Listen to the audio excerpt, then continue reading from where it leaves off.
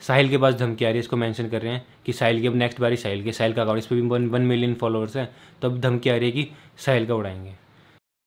तो भाई सौरभ भाई, बहुत ज़्यादा ट्रैवल में हैं तो आप लोगों को पता होगा उनका कुछ दिनों पहले सौरभ जोशी आर्ट वाला इंस्टाग्राम हैंडल उड़ा दिया था किसी हैकर ने।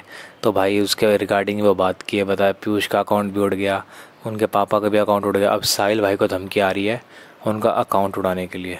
तो उसके रिगार्डिंग उन्होंने आज एक वीडियो अपलोड करिए, आप देखिए वो क्या बोले इस बारे में। सुबह से पीयूष का अकाउंट भी उड़ा दिया, इस पर भी अराउंड सात लाख से ज़्यादा फॉलोअर्स थे। पीयूष का अकाउंट भी उड़ा दिया और फिर चेक किया हमने, फिर पापा जी का भी उड़ा दिया।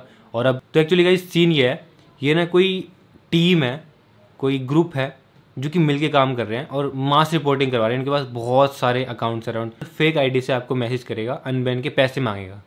और ऐसे ही मैंने छः सात लोगों से बात की, इनके टीम वालों से, सब यही बोल रहे हैं कि सर मतलब बात ऐसे कर रहे सर, ये वो, सर मुझे फॉलो कर दो, सर मुझे मतलब ऐसा लग रहा है कि अक्ल नहीं है उसके अंदर। मतलब स्टोरी में तो मेंशन करे, हंसने वाली इमोजी डाल के कि हमने तुम्हारा बैन कर दिया, मैं रिप्लाई कर रहा हूँ, मैं उनसे बात कर रहा हूँ तो सर सर करके अच्छे से बात कर रहे हैं कि सर तो हाँ एक बंदे से मैंने बात की जो कि आपको स्क्रीन पर दिख रहा होगा, ये मैंने पर्सनली खुद मैसेज किया, भाई भाई क्या चाहते हो? मैंने क्या बिगाड़ा है आपका? मैंने अच्छे से पूछा, भाई, क्या बिगाड़ा है? मैंने जो तुम ऐसा कर रहे हो। ठीक है, फिर कह रहे कुछ नहीं सर, मेरे पास कोई ऑप्शन नहीं था।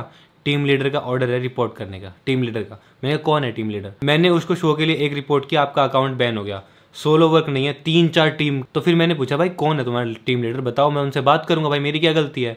जो तुम मेरा उड़ा रहे हो। मैंने क्या किया तुम्हारा? क्या बिगाड़ा मैंने? तो फिर कह रहा सॉरी सर वो हम नहीं बता सकते। लीडर्स के पास हमारी आइडेंटिटी है।